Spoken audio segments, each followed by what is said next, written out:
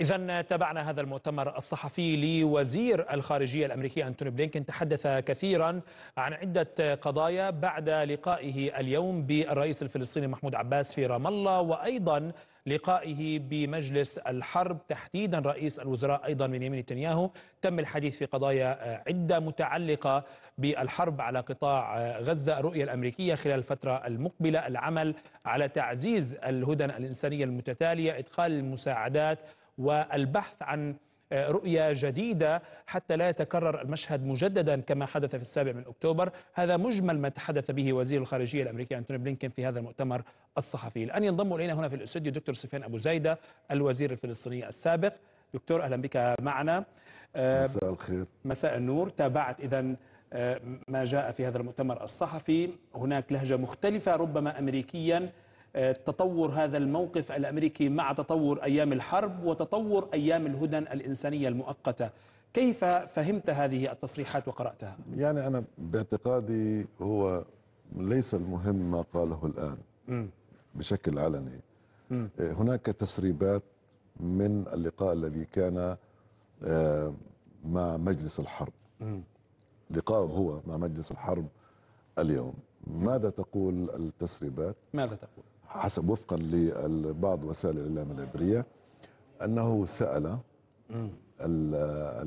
نتنياهو والوزراء كم تستغرق العملية العسكرية التي تنوون القيام بها؟ فرد عليه هرتسا ليفي رئيس الأركان وقال إنها ستستغرق أسابيع.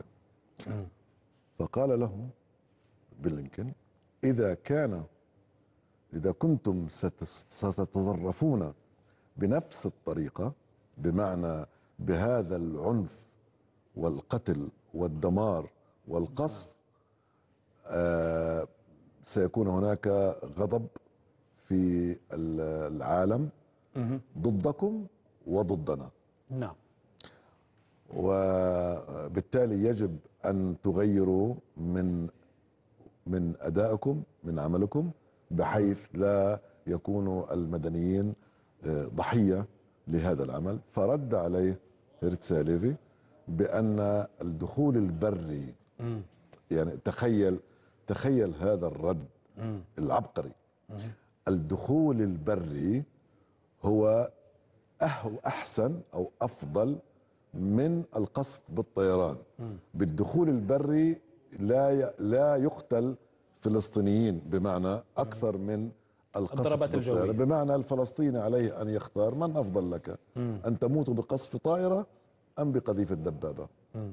هذا هو يعني هذا بس يتحدث بس فهمنا يرد عليه بمعنى مم. هو يعني بمعنى بلينكن مم. قلق جدا من موضوع الدخول البري مم. يبدو إنه قلق قلق على الفلسطينيين قلق من ردود الفعل العالمية مم. على مش قلق على الفلسطينيين أكثر قلق على ردود الفعل العالمية وعلى الغضب الذي سيكون نعم. ضد إسرائيل وضد أمريكا التي تدعم التي تتحمل مسؤولية كبيرة لما تفعله مم. إسرائيل ولكن يعني على أرض الواقع عدد الفلسطينيين الذين استشهدوا خلال الاجتياح البري وليس بسيط يعني هو قدر الفلسطيني إما أن يموت بقنبلة تلقيها تلقيها طائرة أو أو قذيفة تضربها دبابة أو يعني؟ قناصة حتى. أو حتى قناصة كما حدث اليوم خمسة شهداء اليوم آخرهم قبل قبل ساعات. من شهيد من عائلة شحيبر حاول أن يصل إلى إلى بيته في بالقرب من كارفور يعني في في في قلب وسط غزة, غزة. في وسط غزة وتم قناص إسرائيلي قتله. على أي حال فهو يصر بلينكن في خلال هذا اللقاء مع مجلس الحرب نعم. أن لا تجبر إسرائيل أحد على النزوح من بيته في في الجنوب لأن هناك أصبح حوالي مليون ونصف 2 مليون فلسطيني في الجنوب. عمليا م. أنت معظم الشمال أصبح في الجنوب. أين يذهبون؟ ماذا يفهم من ذلك؟ أن كلينتون لم هذا أن بلينكن هكذا يقول الإعلام الإسرائيلي نعم. لم يطلب من إسرائيل أن لا توقف تستأنف م. عدوانها م. أن توقف العدوان نعم ولكنه يعني قلق من أن يكون هناك ضحايا آه، مدنيين هو طلب أيضا إنهم يجب أن يدخلوا المزيد من المساعدات. لكن ألا تعتقد انه هذا الأمر هو ضوءا اخضرا جديدا لاستمرار هذه الحرب لكن بطريقة أخرى آه، احتراما للرأي العام الدولي حتى لا يغضب هذا الرأي العام من إسرائيل مجددا وتقوم القيامة عليه كما كان في بعض المظاهرات التي شهدتها بعض العواصم الغربية.